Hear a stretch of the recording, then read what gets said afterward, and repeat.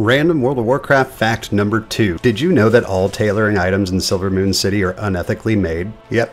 Keelen's trustworthy tailoring may seem innocent enough at first, but a trip behind the curtain will reveal the truth about this seedy establishment. Here you'll find a sweatshop of leper gnomes working round the clock in clearly unsafe working conditions. The gnomes have been slaving away under the watchful eye of Sirigano since 2007 so that you could buy coarse thread at reasonable prices.